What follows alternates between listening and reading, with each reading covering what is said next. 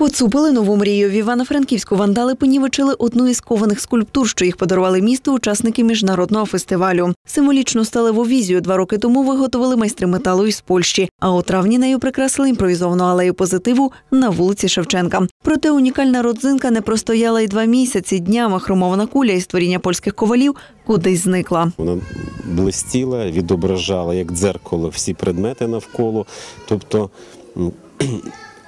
символізувала собою щось чисте, недоторкано, те, що люди мають винести своїми руками. І це якраз такий образ або руки, або якісь гілки, які тримають цю нову мрію. Ну і от шкода, це якась людина. Ну я розумію, що їм було цікаво це зробити. Це робилося не зразу, це кілька днів придивлялися, як це зробити, як відігнути цей метал, щоб вкрасти. Від невідомих зловмисників у бурються ковалі свого часу постраждали чи не всі подаровані франківську композиції. І дерево щастя на 100-метрівці, і карусель на низовій, а от кованій рамці у сквері позаду медакадемії взагалі дісталось найбільше. Найбільше постраждала рамка ковальських традицій. Там дуже багато цікавих елементів було, які просто повидирали, і, і кінців вже немає.